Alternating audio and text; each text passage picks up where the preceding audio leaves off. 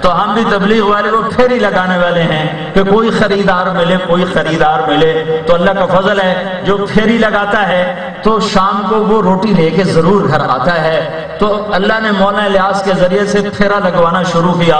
اللہ نے آج مجمع اکٹھے کر دیے۔ کبھی سوچا بھی نہ تھا، کبھی خواب بھی نہیں آیا تھا۔ اس طرح چھ بر اعظم میں اللہ اس دعوت کے کام کو پہنچا کر اور امت کے تمام طبقات کے لیے ہدایت کا اللہ تعالیٰ اسے ذریعہ بنا دے تو ہم نے فلمی اداکاروں میں کام کیا۔ ان کا دن رات ہوتا ہے، رات دن ہوتا ہے۔ دن میں سوتے ہیں، رات کو جاگتا میں رات کو جاگنا پڑتا تھا، فجر کی اذان تک۔ تو ایک رات ہم رنگیلے کو لے کر آئے۔ اس مسجد کے جو امام صاحب تھے نا، وہ تبلیغ والوں سے ناراض تھے۔ انسان جو ہوئے، ہو ہی جاتا ہے، اس میں کیا ہے؟ تو مجھے ساتھیوں نے کہا، میں نے کہا اچھا تو میں ان کے دروازے پر گیا۔ میں نے کہا، حضرت، آج رنگیلا آ رہا ہے، صرف آپ کو بتانا تھا۔ اچھا وہ آئے تو مجھے بھی بتانا تھا۔ میں نے کہا، وہ تو آپ تو سو رہے ہوں وہ تو آئے گا کوئی دو بجے۔ کہ نہیں، مجھے آ کے اٹھا دینا، میں ضرور آؤں گا۔ تو رات وہ آیا دو بجے تو میں نے جا کے اٹھایا۔ وہ مولوی صاحب بھی تشریف لے آئے۔ وہ ان کی ساری رنجش ہی ختم ہو گئی۔ کہا، بھائی، بڑا کام ہے۔ کن کن لوگوں کو کھینچ کے تم لا رہے ہو۔ تو میں تمہیں اب رنگیلے کا قصہ سنا رہا ہوں۔ میرے خیال میں اس نے وہی نمازیں پڑھی ہم اس کو مسجد میں لائے اور نماز پڑھائی۔ میری بدگمانی ہے، لیکن واقعہ ایسا ہی تھا۔ دور سے شراب کی بو آ رہی۔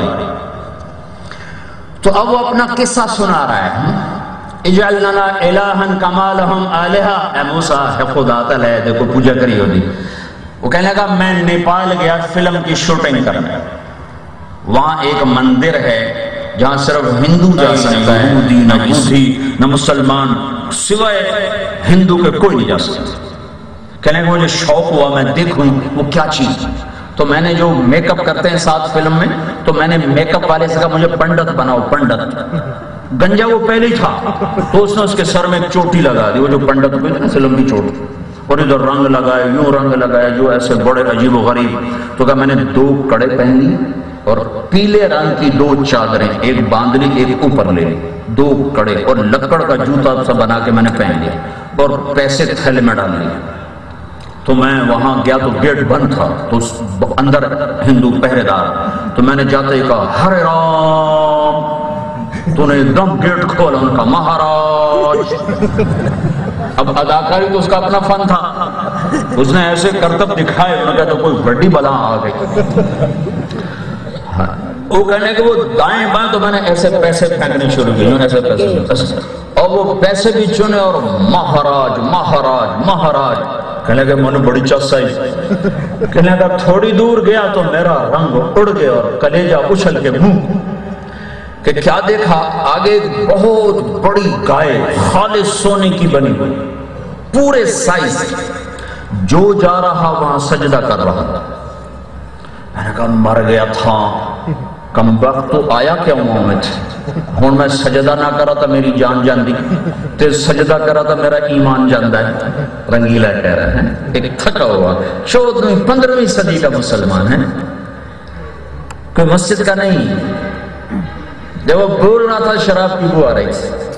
کہنے لگا، میرے جی میں آیا اب اگر میں سجدہ کروں تو میرا ایمان گیا اور نہ کروں تو میری جان گئے میں اپنے آپ کو کوسنے لگا، کم وقت تو آیا ہی کیوں تھا یہاں؟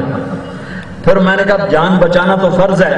تو میں بڑے اطمینان سے چلتا گیا چلتا گیا چلتا گیا۔ جب میں قریب آیا، میں کہا، یا اللہ، تو گواہ رہا میں صرف تجھے سجدہ کر رہا ہوں، میں اس کم وقت کو نہیں کر رہا. اللہ اکبر! منہ طرف خانے کعبے دے ہم کہتے ہیں، منہ طرف خانے کا ان کا منہ طرف گائے دے سجدہ اللہ دی ذات نو۔ اللہ اکبر۔ یہ اس امت کا ایک تھکا ہوا مسلمان ہے۔ ہوج تباکم کہ تم میرے چنے ہو۔ سنو، اس امت کو چار بڑے اعزاز ملے ہیں قرآن میں۔ کنتم خیر امت تمہارے جیسی کوئی امت نہیں۔ وَكَذَلِكَ جَعَلْنَاكُمْ أُمَّةً وَسَطًا۔ تم امت وسط ہو۔ لِتَكُونُوا شہداء تم شہداء میرے گواہ ہو ہوش سباکم تم میرے چنے ہوئے ہو۔ یہ چار پھول ہیں۔ میں مثال دیا کرتا ہوں۔ چار پھول والا فل جنرل ہوتا ہے فل جنرل تو اس امت کو اللہ نے فل جرنیل بنایا ہے۔ چار پھول لگائے ہیں۔ خیر امہ وسطا شہدا مجتبا اس کا تھکا ہوا مسلمان ایسا ایمان رکھتا ہے۔ وہ کہتا ہے میں گائے کو نہیں سجدہ کر رہا، میں اللہ کو سجدہ کر رہا ہوں۔ یہ فرق ہے اس امت کا اور پچھلی امتوں کا۔ جو میرے رب نے، میرے نبی کے توفیل، اس امت کو یہ اعزاز بخشا، یہ بلندیاں بخشا۔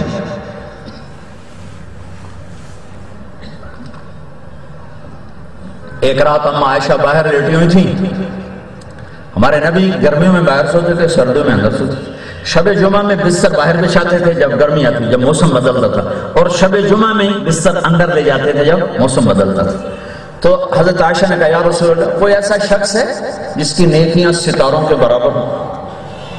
تو آپ نے کہا ہاں عمر عمر. تو اما عائشہ کو چپ لگ گئے. ان کے جی میں تھا میرے ابا ہوتے تو کہا، عمر. تو جب حضرت عائشہ کو چپ دیکھا، تو کہا، عائشہ، ابو بکر کی ایک رات عمر کی ساری نیکیوں میں بھاری ہے. للیلت ابی بکر خیر من حسنات عمر. عمر کی ساری زندگیوں پر، ساری زندگی کی نیکیوں پر وہ غار سور والی پہلی رات بھاری ہے. عمر کہا کرتے تھے، ابو بکر ایک رات دے دے، ایک دن دے دے اور ساری زندگی لے لے۔ غار سور کی پہلی رات دے دے اور وفات النبی کا پہلا دن دے دے، وہ سب کچھ لے۔ دے میرا سب کچھ لے۔ تو اللہ تعالیٰ نے آپ کے گرد ایک ایسا مجموعہ تیار کیا کہ انہوں نے دین کو اپنی جان سے زیادہ عزیز رکھا۔ این قص الدین و انا حی اللہ کے نبی کا انتقال ہوا انتقال ہوتی ہی ارتداد اور فتنے اٹھے اور ہر دور میں ایسا ہوا. لیکن اللہ تعالیٰ بعد میں نبی بھیجتا تھا، جو سارے فساد کو مٹاتا تھا. اب نبی کی آمد بند تھی. اب یہ آخری نبی آ رہے ہیں. ان کے بعد اب کوئی نبی نہیں ہے. تو بہت بڑا فتنہ اٹھا. بہت بڑا فتنہ اٹھا. ادھر ارتداد، ادھر آپس میں انصار الگ، مہاجرین الگ۔ اللہ تعالیٰ نے ابو بکر کی ہستی کو قبول فرمایا، انہیں انصار اور مہاجرین کو ایک جھنڈے تلے اور ایک ایک سائے تلے جمع کیا۔ اور پھر حضرت اسامہ رضی اللہ تعالیٰ کے لشکر کو اللہ کے نبی نے وفات سے پہلے روانہ کیا تھا۔ انفذو جیش اسامہ جب آپ دنیا سے چلے گئے تو ابو بکر رضی اللہ نے کہا جیش اسامہ کو روانہ کرو۔ تو عمر رضی اللہ تعالیٰ اور سارے صحابہ کہنے گئے حالات بدل گئے، عرب مرتد ہو چکا ہے سارا اور قوت کمزور ہو جائے گی اگر مرکز خالی ہوا۔ کہا، مت بھیجو مت بھیجو یہ لشکر۔ تو ابو بکر رضی اللہ تعالی عنہ اٹھے اور ابو عمر رضی اللہ کی یوں تہڑی زور سے پکڑی اور یوں جھنجھوڑا۔ کطلب تو نصرتک وجیتنی بالخبران. خوار فی الاسلام وجبار فی الجاہلیہ عمر، تو بھی میرا ساتھ چھوڑ رہا ہے۔ میں تو تیری مدد کا محتاج تھا۔ تو بھی میرا ساتھ چھوڑنے کی بات کرتا ہے۔ اللہ کی قسم، اگر بھیڑیے مدینے میں آ جائیں اور میری لاش، میرے جسم کی بوٹیاں نوچ لیں پھر بھی میں اللہ کے نبی کے فرمان کو پورا کر کے چھوڑوں گا۔ جس جھنڈے کو میرے نبی نے کھولا ہے، ابو بکر کی مجال ہے کہ اسے لپیٹ دے۔ ایو سماء تدلنی و ایو ارض تقلنی۔ آئے ہائے عجب حال تھا؟ میرے میری اماں عائشہ نے کہا، اس وقت ہمارا حال ایسا تھا جسے سخت سردی میں بھیڑ کا بچہ ٹھٹرا ہوا ہوتا ہے اور اسے گرمی نہیں مل رہی ہوتی۔ سارے مسلمانوں کا یہ حال تھا۔ جیش اسامہ روانہ کیا، تو ادھر سجاح نکلی، ادھر مسلمہ کذاب نکلا، ادھر طلیحہ نکلا اور قریب کے قبائل بنو عبس اور غطفان نے ارتداد کا جھنڈا بلند کیا اور مدینے کی طرف روانہ روانہ ہوئے۔ تو آپ نے سب